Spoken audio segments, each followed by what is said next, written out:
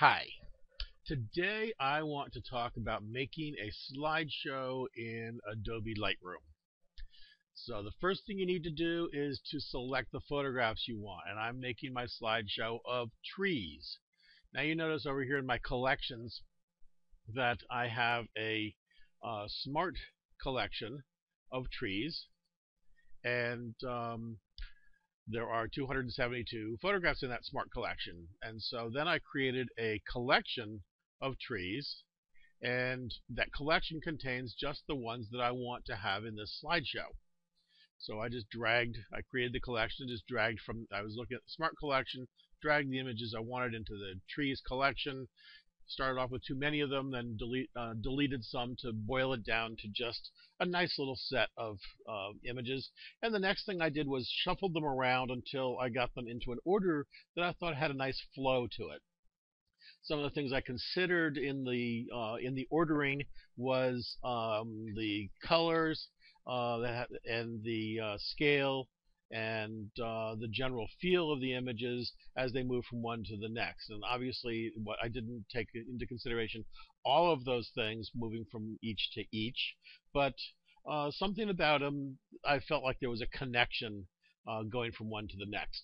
So uh, the next thing is to move over into the slideshow. So we're going to go to the slideshow panel. And so I have already created this template.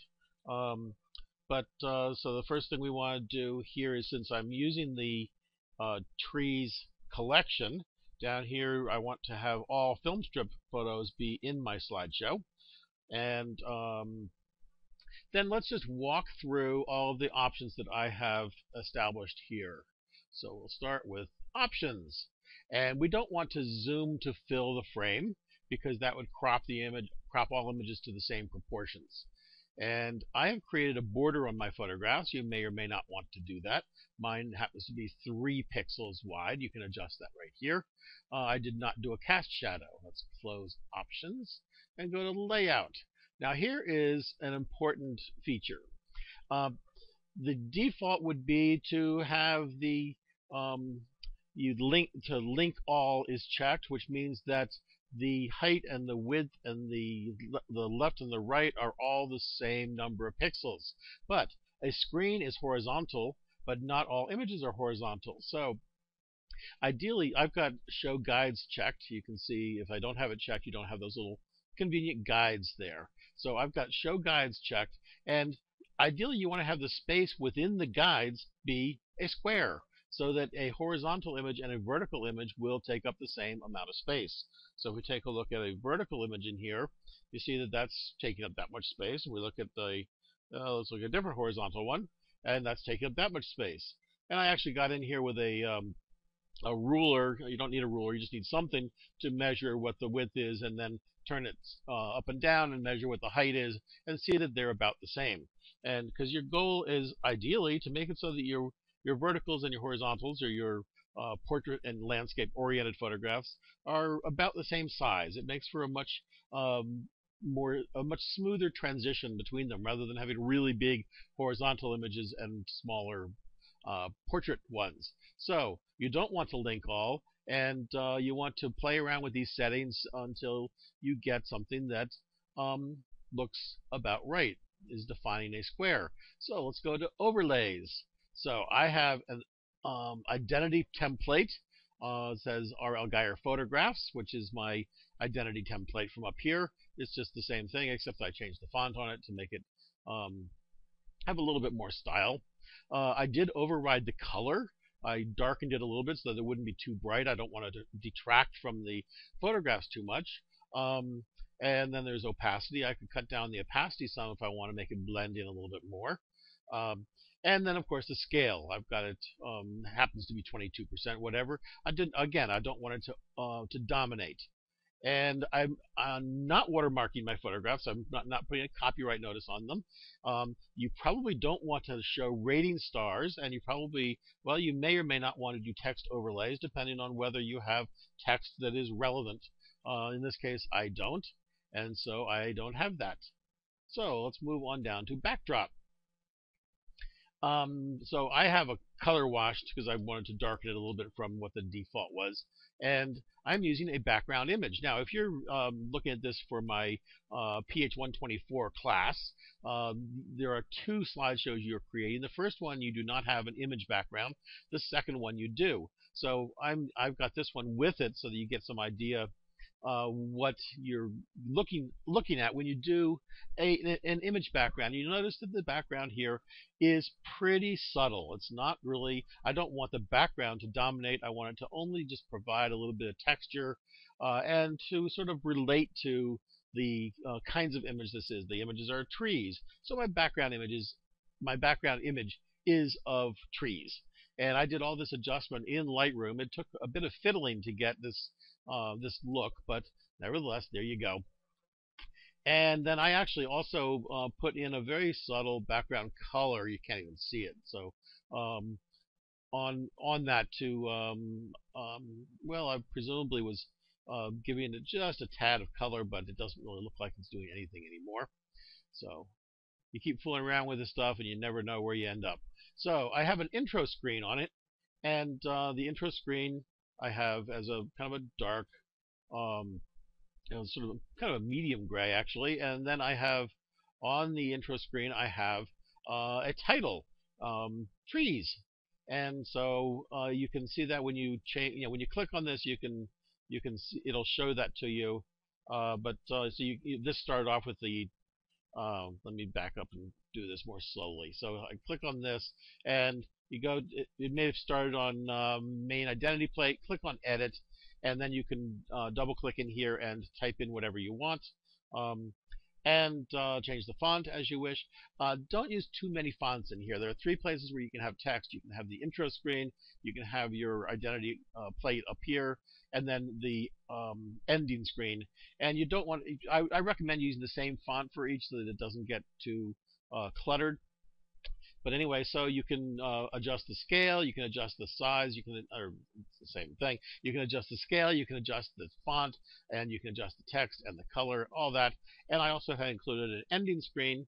Um, the ending screen I have um, put in my email address so that when this finishes, the client who I might be sending this to can see how to get in touch with me and I have done an override of color on here again to make it a little bit more subtle than it would have otherwise been. And then in the playback I don't have a soundtrack on here. Uh, if you're doing a, P, um, PDF file then you, there, it can't support sound. If, if, you're doing a video it'll be a quite large file and uh, probably only suitable for putting onto a CD uh, also, if you do a soundtrack, be sure it's something you have the rights to. Don't use commercial music unless you have copyright permission. And um, I have two monitors. It's set to play back on the on the first monitor, and it's going to blank the other one. Uh, slide duration is something you want to experiment with, and um, because you, you, you don't want to be too short. You want people to have a chance to really look at your images, but you also don't want it to be so long that people are starting to um, uh, tap their feet and uh, hum little tunes.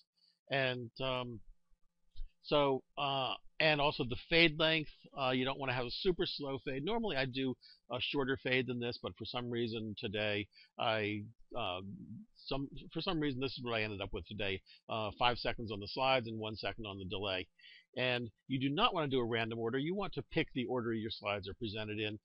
whether you repeat it or not um, is really a um, matter of um, well, um, depends on what your application is.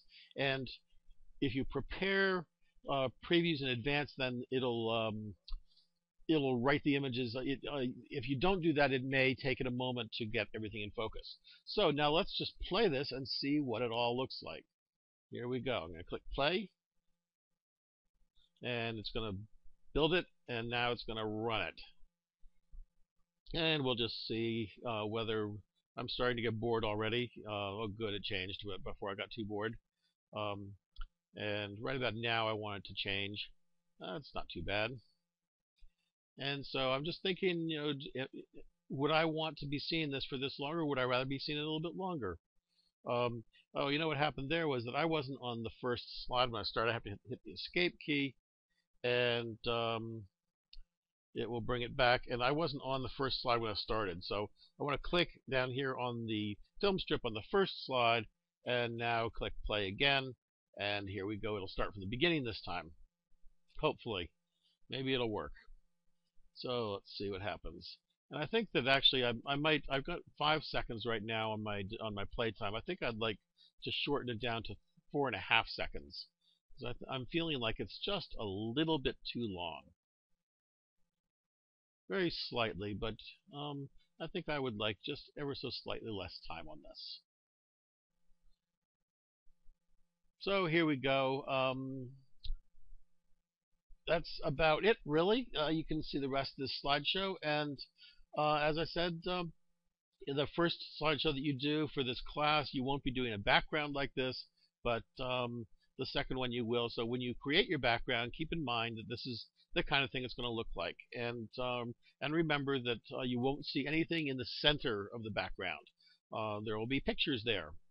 And um, so that what looks like smoke in the back or looks like fog in the background was actually smoke from a forest fire. They cut down that tree. I was really sorry to see it. The tree was um, kind of ailing. And there's an apple tree. And that is the last slide. And now we're going to go on to the end, which is my email address. And there you have it. So you get all the adjustments the way you want it. Sometimes you have to uh, go through it a few times, look at the show, and um, adjust the timing as I suggested I wanted to do. Or you might, uh, in fact, let's just do that right now. I'm going to move this over to four and a half seconds instead of five, and um, and then uh, you uh, save your template um, because you want to make sure that you have this to use later. So go over to the template browser, click the plus sign, and uh, give it a name. I don't think you can see this uh, this new template dialog here, uh, but it, um, whether you can see it or not, it's here. And you assign it a name. You click create, and um, and then you have that for future use. And then finally, you want to export this.